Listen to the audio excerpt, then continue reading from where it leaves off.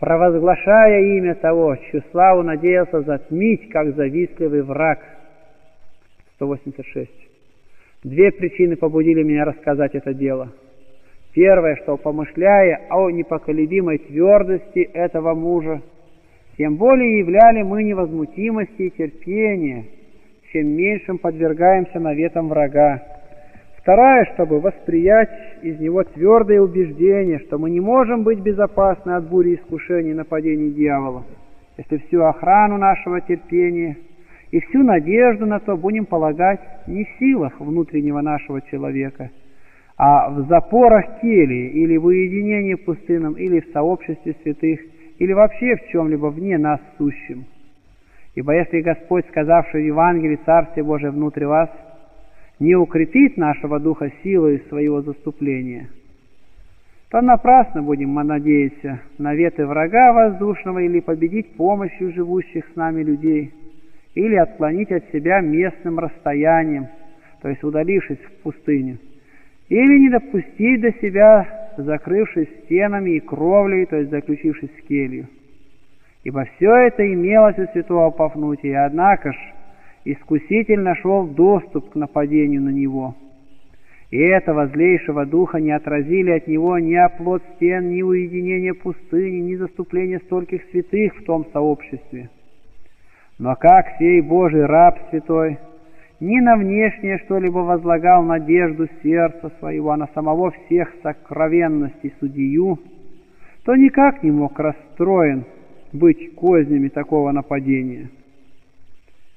Также и тот, кого зависть свергла в такое преступление, не пользовался ли благодеянием пустыни, ограждением отдаленного жилища и сообществом блаженного Исидора, Авы и Пресвитера и прочих святых.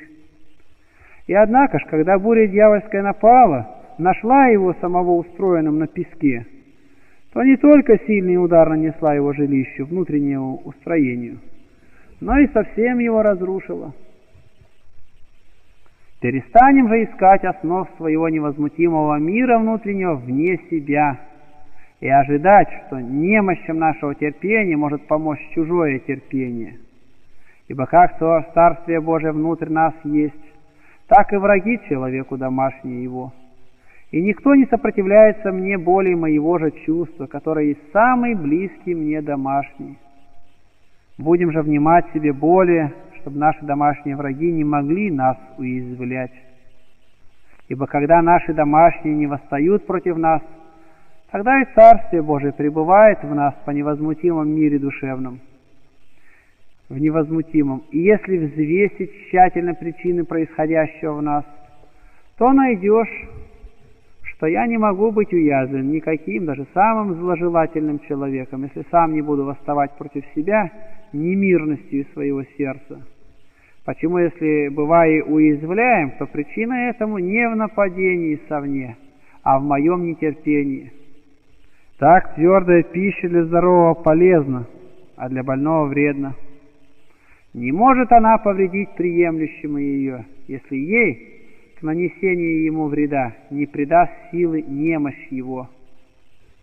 8 о божественной благодати и свободном произволении, как производителях духовной жизни. 187. Мы всегда должны быть твердо уверены, что никак не можем достигнуть совершенства своими трудами и подвигами, хотя бы со всей неутомимостью упражнялись во всякой добродетели. А одни человеческие усилия не могут иметь такой цены и силы, чтобы возводить на высоту святости и блаженства если сам Господь не будет при том содействовать нам и направлять сердце наше к тому, что для нас полезно. Потому в каждое мгновение мы должны взывать к Богу с Давидом, «Соверши стопы мои в стезях твоих, да не подвижутся стопы мои». 16.5. «Дабы сей невидимый правитель духа человеческого обращал произволение наших добродетелей, так как оно более склонно к пороку, то по неведению добра то по обольщению страстей. Это очень явно выражено пророком в одном стихе песни. «От реновен превратихся пасти пасти, и Господь прият меня». Псалом 117, Первым полустишем означается нетвердость нашего произволения, а вторым всегда готовая нам помощь от Господа, который всякий раз, как начинаем колебаться, простирает к нам руки свои, поддерживает и утверждает, чтобы иначе с одним своим произволением не пали мы совершенным падением. Так ни один праведник не имеет в себе достаточно сил стяжать праведность. Непрестанно колеблется он и в каждое мгновение готов пасть. Потому милость Господня подкрепляет его рукой своей, чтобы иначе, подвергшись падению по слабости произволения, совершенно не погиб он в падении своем. И кто будет столько самонадеян и слеп, чтобы думать, что не имеет нужды в непрестанном содействии Божьем, когда сам Господь в Евангелии ясно научает, если ветвь не может приносить плода сама по собой, и вы, если не будет на лозе, так и вы, если не прибудете во мне, ибо без меня не можете делать ничего. Как же неразумно, даже святотатственно присвоять какие-нибудь добрые дела своим усилиям, а не благодати и содействию Божию. Когда Господне изречение свидетельствует, что без Его содействия никто не может приносить духовных плодов.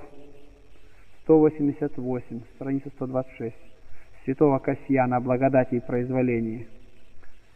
Веруем потому, что как начало благого расположения полагается в нас особым внушением Божьим, так равно совершение добродетели подается им же.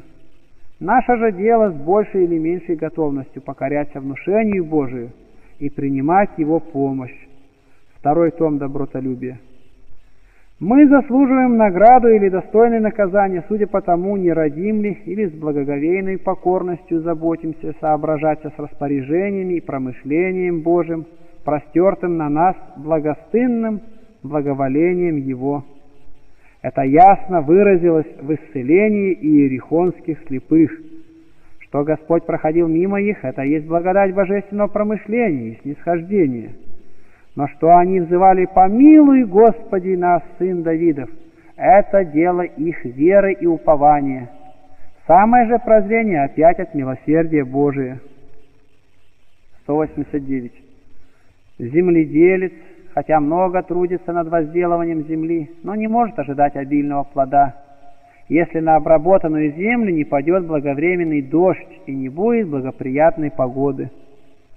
Итак, как ленивым земледельцам, которые не стараются обрабатывать свою землю, Бог не дает плода, так и трудолюбивым не принесет пользы всечастная забота, если не поблагопоспешит им милосердие Божие. Так и в деле жизни по Богу и свои труды нужны, но если благодать Божия не по благопоспешит, ни в чем не успеем. Исповедуй же, что Бог есть начальный виновник не только дел, но и помышлений благих. Он внушает нам и свою волю святую, и дает силы и удобный случай исполнить то, чего правильно желаем, ибо всякое доброе даяние, всякий дар совершенный свыше есть, сходит от Отца Светов. Яков 1.17, 190. Воля Божия всегда желает, чтобы созданный им человек не погиб, но вовеки жил. Бог, если заметит в нашем сердце хоть искру расположения к добру по благосердию своему, не дает ей угаснуть.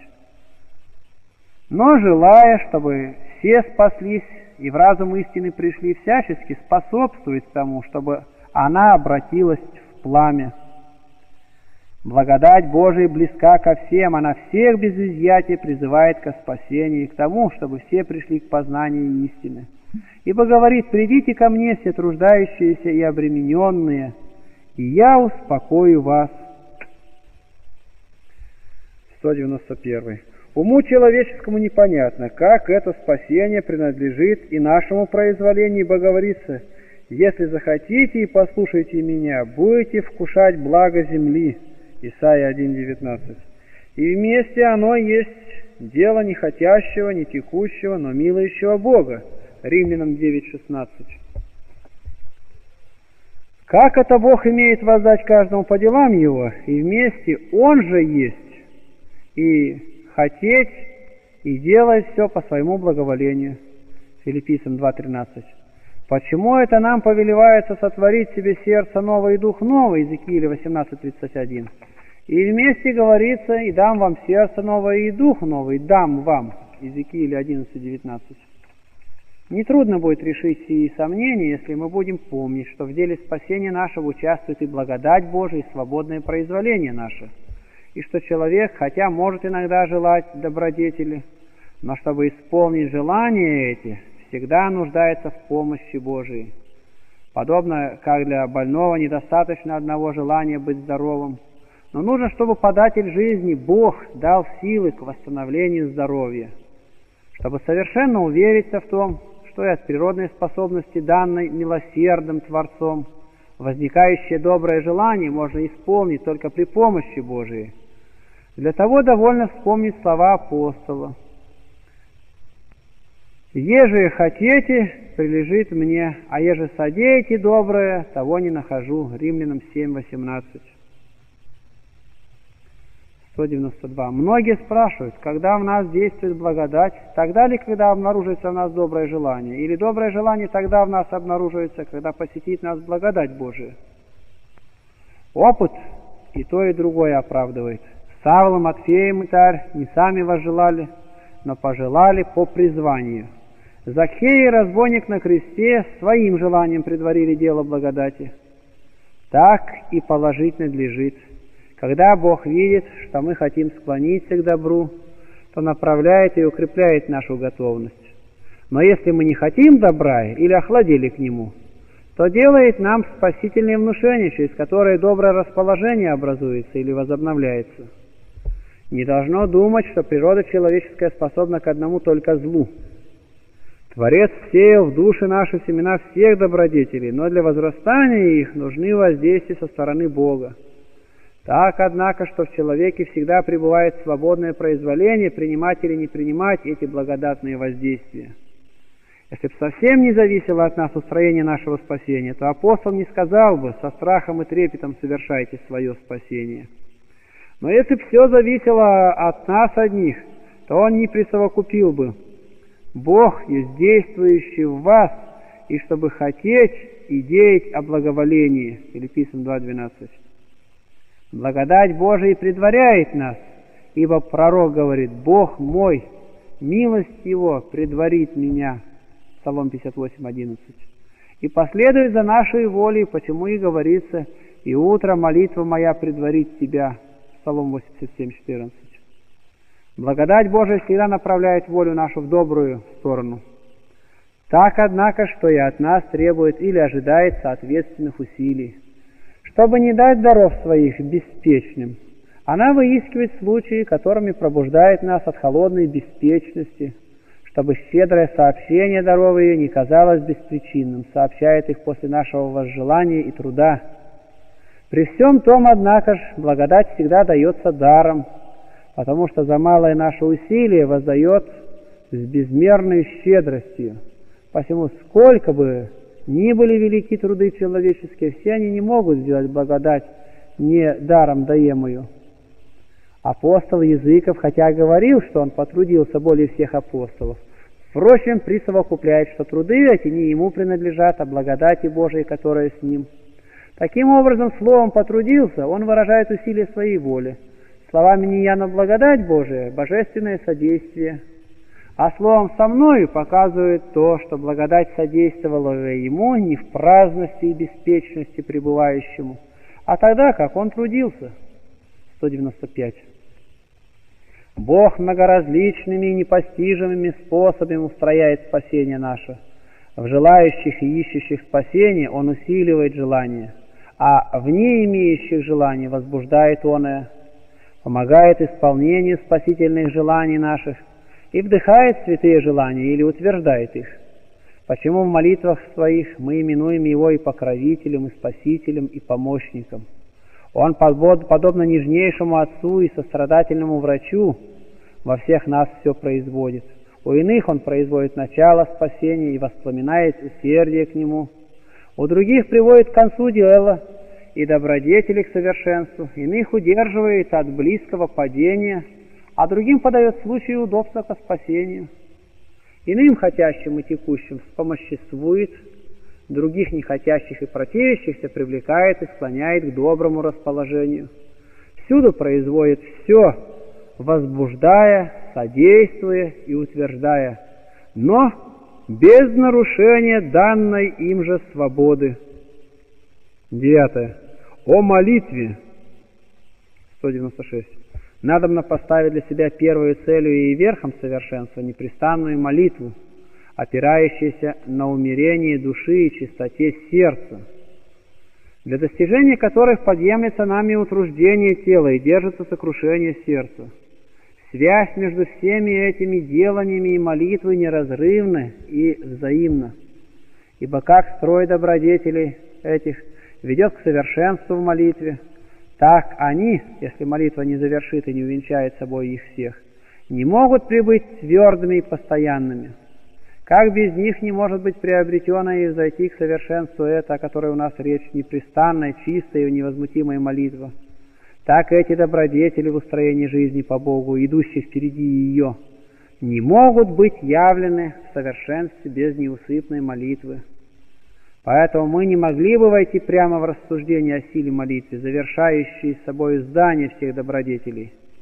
Если бы наперед не было нами по порядку означено и рассмотрено все, что должно быть отсечено или приготовлено в видах стяжания ее, или если по смыслу евангельской притчи, не было нами наперед расчислено и собрано все, что потребно для построения этого возвышеннейшего духовного столпа, что, однако же, будучи приготовлено, не пойдет в дело как следует и не допустит правильно возложить над собой последних верхов совершенства, если прежде по вынесении всякой нечистоты пороков и выброшении обломков и мертвого мусора страстей на живой и твердой земле сердца нашего, как бы на оном евангельском камне, не будет положен прочнейший фундамент простоты и смирения, на котором мог бы быть воздвигнут этот столб через назидание на нем духовных добродетелей, непоколебимо стоять и главу свою возносить до последних высот неба, надеясь на свою прочность. Когда же он будет утвержден на таковом фундаменте, тогда пусть снидет проливной дождь страстей, пусть подобно стенобитным машинам нападут стремительные реки гонений, пусть наляжет свирепая буря враждебных духов, он не только разрушением не разрушится, но не почувствует даже их приражения – посему, чтобы молитва могла быть возносима с должной горячностью и чистотою. Вот что следует всячески соблюдать. Во-первых, всякая забота о вещах плотских, конечно, должна быть отсечена. Потом не только хлопотание о каком-либо деле или случае, но даже и память о том отнюдь не должна быть допускаема. Равно как развлечение, пустословие или многословие и шутки должны быть пресечены – более же всего смятение от гнева или скорби совсем подавлено. Пагубное возбуждение плоской похоти и влечение сребролюбия с корнем исторгнуты. По совершенном же извержении отсечении этих и подобных пороков, открытых и для взоров человеческих, и по таком предварительном вычищении всего, завершающемся чистотой и непорочностью, должно далее, во-первых, положить непоколебимый, глубокого смирения фундамент – который был бы силен сдержать имеющий проникнуть в самые небеса столб. Потом должно быть на всем основании возведено здание духовных добродетелей, и дух удерживаем от всякого парения блуждания непостоянного, чтобы таким образом духовный взор мало-помалу начал подниматься к созерцанию Бога.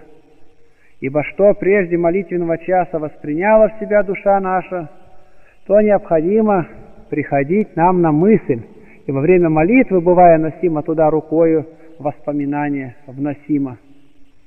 Почему? Какими желаем быть во время молитвы, такими должны мы себя уготовать прежде времени молитвы.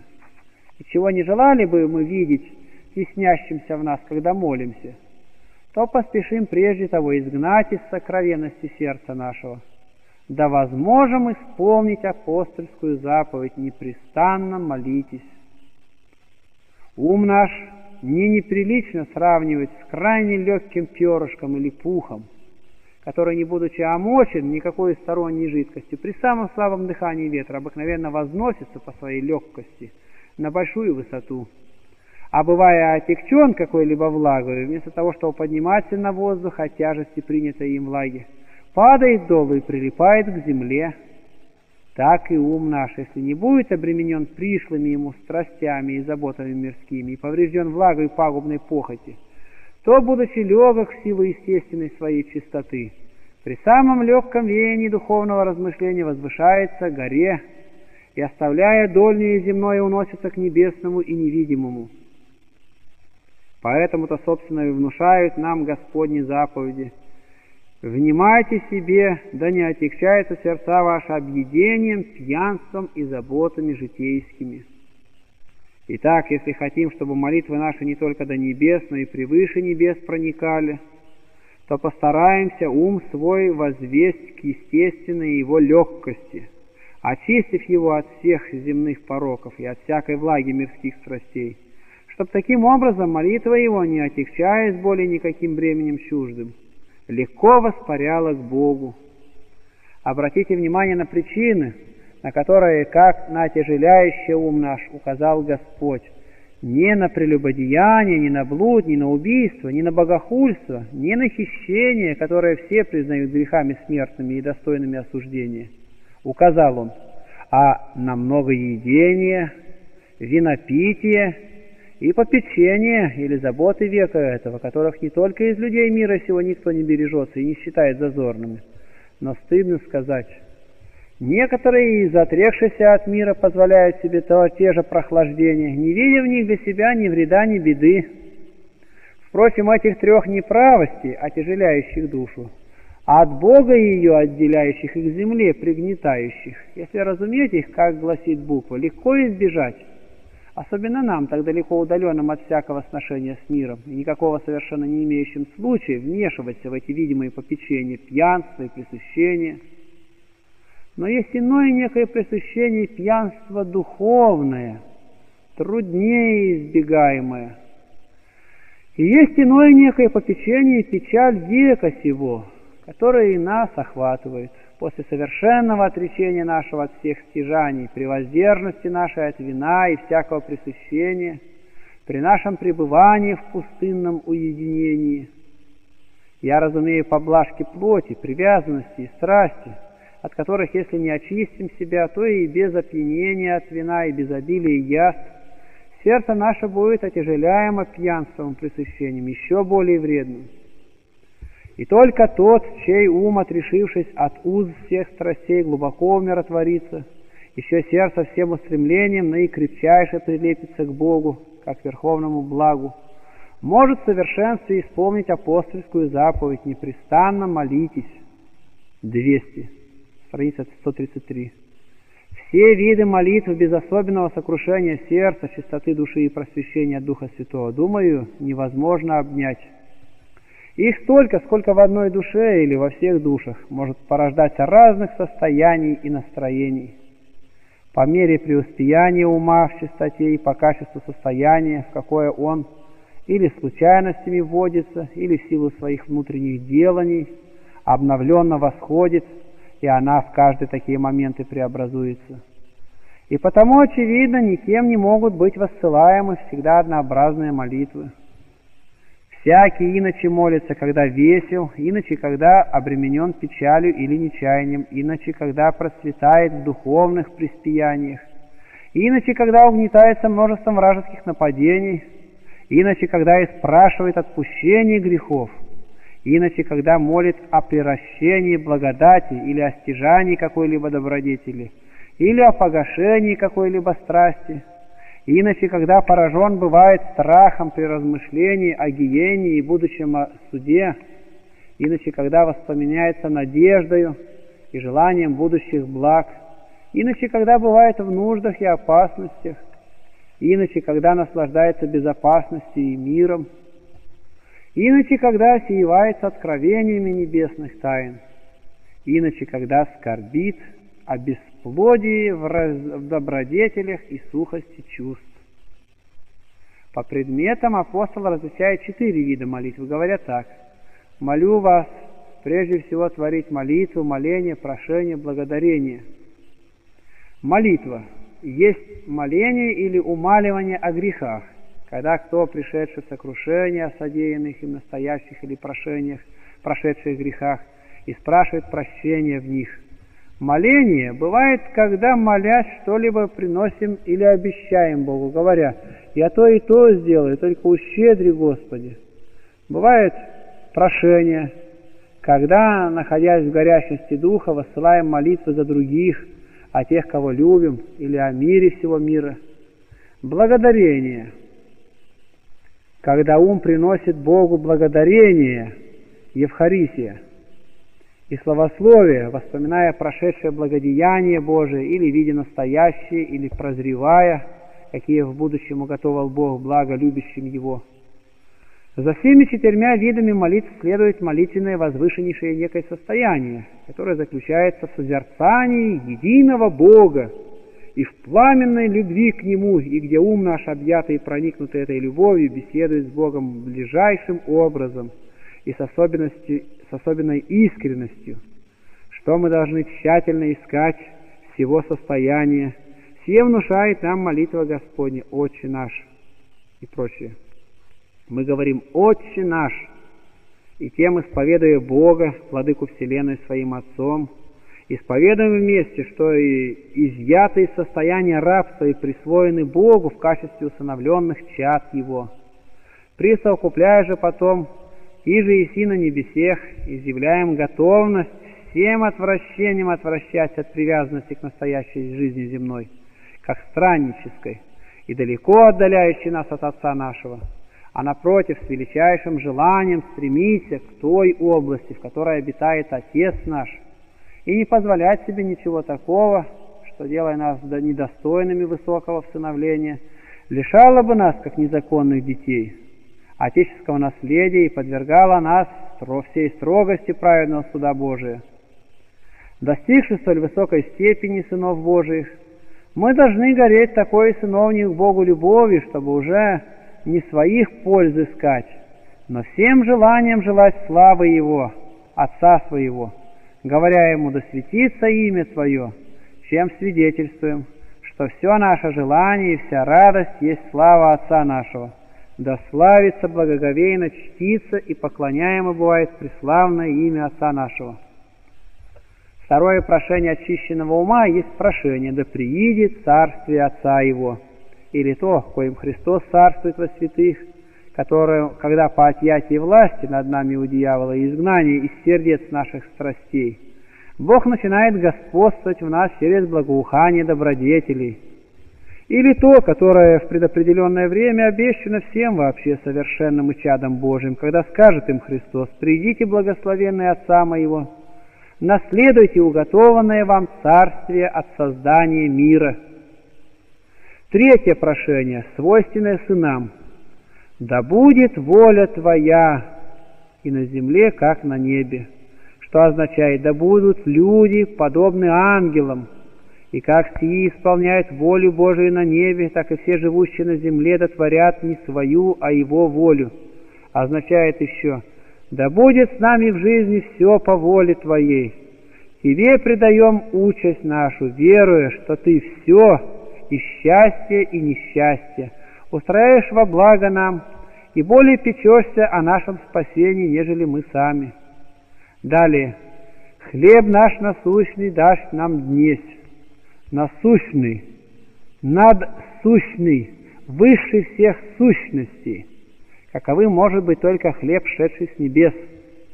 Когда говорится «днесь», показывается, что вчерашнее вкушение его недостаточно – если он также не будет преподан нам и ныне, в убеждение нас такой каждодневной нужностью Его, во всякое время изливать эту молитву, так как нет дня, в который бы не нужно было укреплять сердце внутреннего нашего человека принятием и вкушением этого хлеба.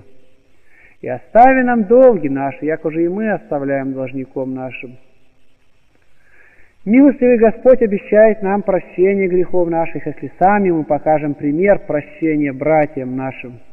Остави нам, якоже и мы оставляем. Очевидно, что в надежде на сию молитву с дерзновением можем просить себе прощения только тот, кто сам простил должникам своим. Кто же от всего сердца не отпустит согрешающему против него брату своему? Тот этой молитвой будет и спрашивать себе не помилование, а осуждение. Ибо если эта молитва его будет услышана, то в соответствии примеру его, что иное должно последовать, как ни гнев неумолимый и непременное определение наказания, суд без милости не оказавшему милости. И не веди нас во искушение, приводя на память слова апостола Якова, блажен муж, который претерпевает искушение. Эти слова молитвы мы должны разуметь не так, не попусти нам когда-либо искуситься, но так, не допусти нам быть побежденными в искушении. Искушаем был его, но не введен в искушение, ибо при помощи Божией не даде безумие Богу, Иов 1.22, и не осквернил уст своих богохульным ропотом, к чему хотел привлечь его искуситель. Искушаем был Авраам, искушаем был Иосиф, но ни тот, ни другой не введен был во искушение, ибо ни один не исполнил воли искусителя.